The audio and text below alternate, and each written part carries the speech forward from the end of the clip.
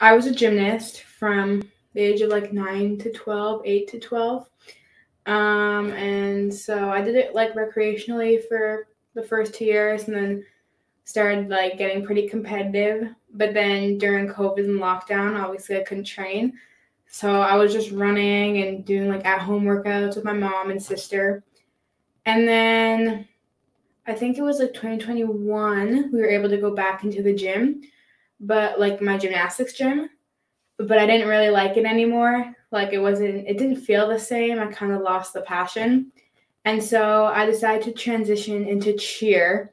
And I did cheer for two years. But after the first year, I realized like it wasn't really for me and I didn't feel like it was enough. Like I felt like on the fitness side, which like I was used to doing a lot of fitness and gymnastics, it was like lacking.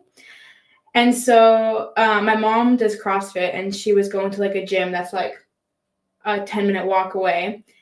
And I came with her and started doing um, weightlifting because they had a weightlifting program there. And I was really good at it, and like I got good really fast and then I think I did a competition within like a few months after joining. And then I went to provincials and won and went to like the Canadian Nationals and came second. And then so I was kind of doing weightlifting and cheer for a year. And then I decided I was like done with cheer. I didn't like the makeup and the bow. It just wasn't for me. Um, and then I did like focus on weightlifting for a little bit, but then I got kind of bored. Um, just doing the same thing every day. Like, again, from gymnastics, I was used to like more changing it up. And so I decided to like twice a week do a CrossFit class with my mom. And I was doing that for a few weeks. And then this thing, like the open, when the coaches were like, oh, you should do this. Like it's a competition for fun. Everyone can do it. So I think it was the night before I like signed, logged in, signed up, and did my first open without training at all well, like other than like a CrossFit class once a week. And I loved it. I had so much fun, like just doing it with everyone, like all the different things. I did bar muscle ups, which were just kips. And I was like, whoa, this is like gymnastics, like weightlifting, cardio. I love it. And I made it to quarterfinals without even knowing. It's funny, I got the email and I thought it was junk mail. And then like I actually read it and I was like, oh, cool and do very good. I think I came like a hundredth in quarterfinals, but after that, I had kind of left it for a little bit. Did stuck to weightlifting, but then the following year in November, I was like, man, the Open is coming up in two months. I want to train for it this year. I was like, I want to go to the next level. My goal was to go to semifinals. Um, and so starting November, I started training with Glenn. He was um, a member at my gym and he would go and train every day at like 5 a.m.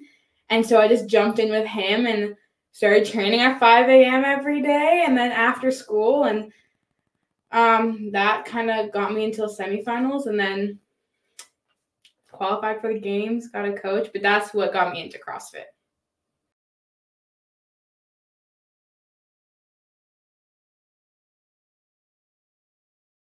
Um, I mean, during COVID, so I was doing gymnastics, and then obviously I couldn't really do any sort of gymnastics from home. We did have like a what's it called, like a tumble track that we put in the backyard, and we'd step on that. But I was doing like 5K runs every day, which is why I mean I'm a pretty good runner now. Um, so yeah, I ran every day, and we had some dumbbells, and I just did some like online things with my mom, but it was more about it wasn't really like didn't really have a goal. It was more just about like staying fit and active. So and just getting out of the house. So that's pretty much it.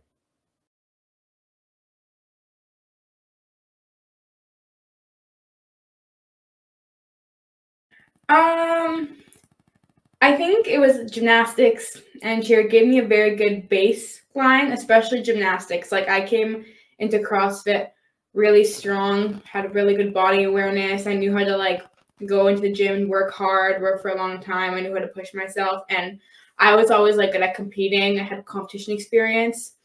I think some things that were like different and like I still find a little difficult are like the machines, some like things I like in gymnastics, you don't really use um your legs uh, like in like dead your legs and back. So like deadlifts I'm not great at. Um and my coordination is horrible. So like wall balls I struggle with. I'm also really short. But there's things like handstand walking, like bar muscle ups, that they came so natural to me. So I'm really glad I started with gymnastics. I think like it would have been so much harder to like pick up things, even like snatching. I just knew what I was doing. Like it was very easy for me to pick up cues and alter like if someone told me something, my body awareness like made it easy for me to pick up the correction. So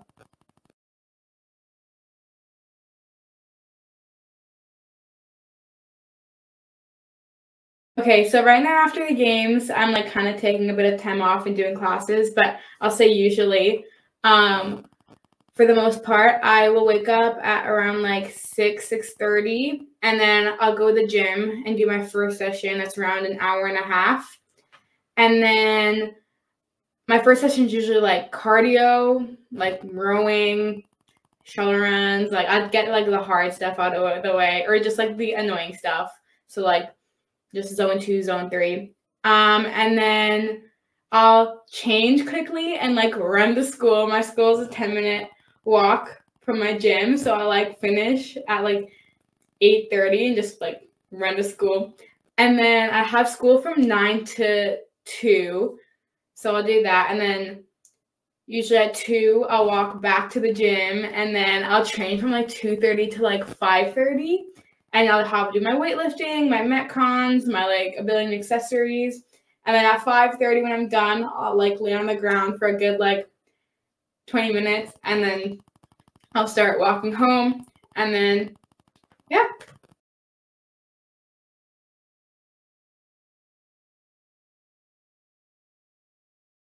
Okay, so when I first started CrossFit, my first year, I worked with M2 Nutrition and I tracked my macros. I had a plan and it was good. I it was fine, but after the games, I had like stopped and just to take a little break. And then going into this season, I decided like I was just gonna try eating as much as possible because I'm pretty small compared to my field, and I was like the goal is just eat as much as I can. So prioritize protein, get enough carbs, but just eat. And so I didn't track macros this season, but I do feel like my nutrition was a little sloppy because of it. Like I feel like some days I really did eat a lot, some days kind of off, and then some days probably the quality of food or like types of macros I got weren't great because I didn't exactly know the numbers. So I think going into this season, I'm going to loosely track. I'm going to, I don't know if I'll work with someone. I'm thinking about it. Even just having like an idea or a number or like frame to follow. But I definitely think I'm going to meet somewhere in the middle. Like prioritize eating a lot and like eating protein, but also maybe having like a number to kind of go for and like estimate.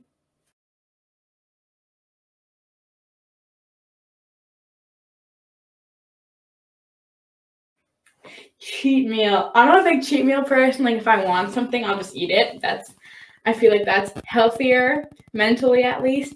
But ooh, I love sushi. Like I can go and eat like five rolls of sushi. And I'm in Vancouver, so we, like Canada, we have really good sushi. Um, I love Thai food. I can eat Thai food all day. Um, like the pad Thai noodles and like curry.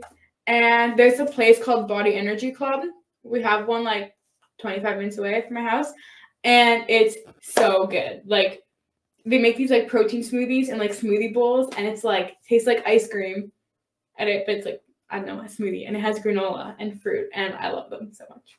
Also, and you bake good, and you bake good. like especially a vegan baked good. I was vegan for three years, so any vegan baked good is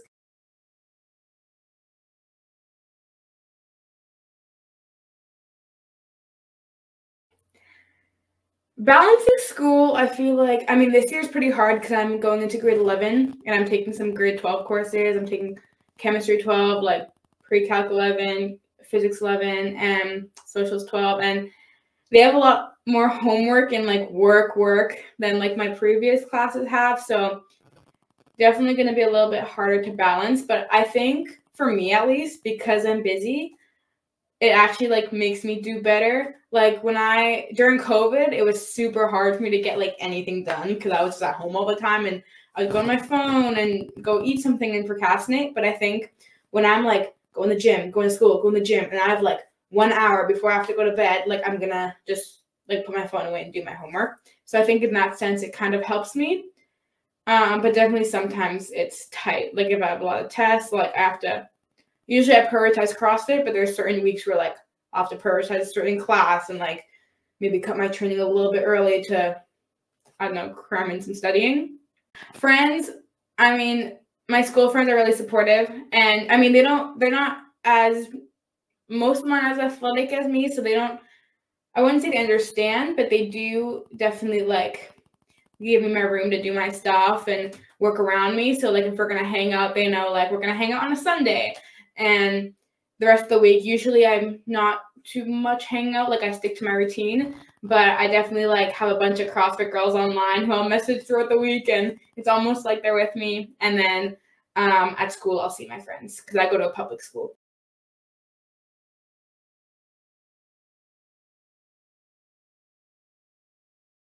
Okay, I have a few at Wodapalooza in January. I had my first event win, and it was an event that like I had like two weakness movements in, and like when I had practiced it, like I was pretty worried about it, and then I won it. Um, and it was super awesome. My coach Michelle was like in the stands. My dad and Glenn were in the stands, and my family was watching on the live stream, and I don't know, it was super surreal. And then this year too, like oh my gosh. I PR'd my clean and jerk at 185 in the fourth event, I think, at the games, and that was super cool. I had so much fun.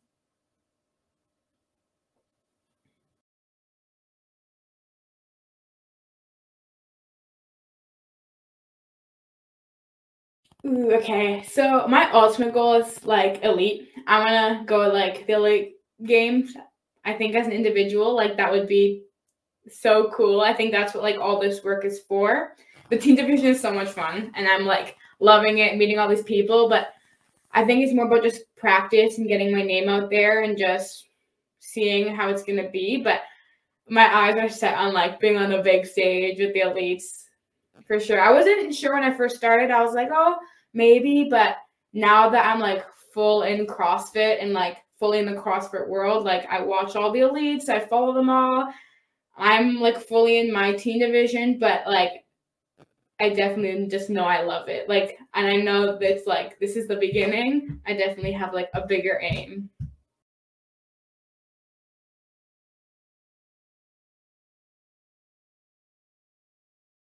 Okay, in the sport, I definitely look up to Emma Lawson because she's Canadian and she started as a teen and made her way up to individual. She went to individual like really quickly, but even the fact that she went up it just shows me it's possible. Um, and so I definitely look up to her. I also look up to Arielle Loewen and Annie Thorisdottir because they both had kids. They both had to like overcome challenges, got like, back into the sport, and they're always like, I feel like no matter what happens, if it goes their way or not, they're always so positive and like they're fun to watch and that's always like what I hope to be. Like I want to do the best I can and obviously get good results, but I want to know I'm having fun and just being a happy person and fun to be around. Um, outside the sport, my mom inspires me a lot, and so does my dad. I have a really good family.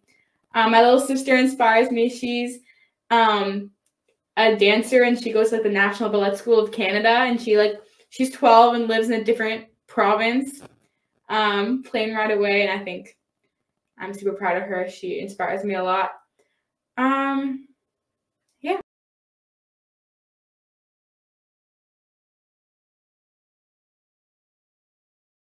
I know.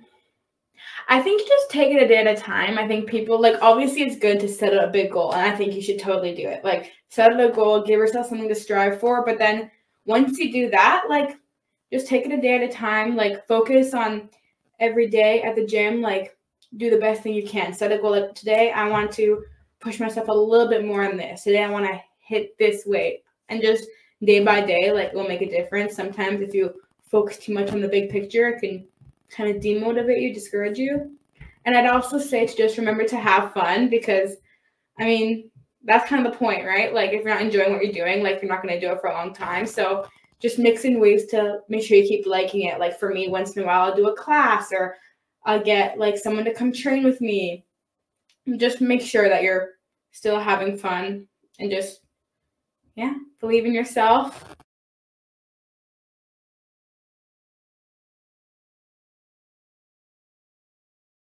Definitely like, I know that, I mean, I go to public school, so the guys who are like, oh, like, how much do you bench? And just stuff like that. Um, and I've gotten a lot of comments like unasked for, just like or like stares or people being like, like what sport do you do? Actually, I think I was at the sauna one time and someone was like, "You don't look very feminine."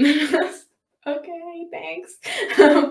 but I mean, I like my body and I know I work hard for it, so I don't really care what other people think.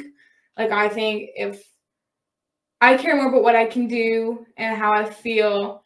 And if I feel good about my body and if I'm, I don't know, feeling myself enough for training and all that, I don't really care what somebody else thinks of it. And I think it's pretty cool. I think it's pretty cool.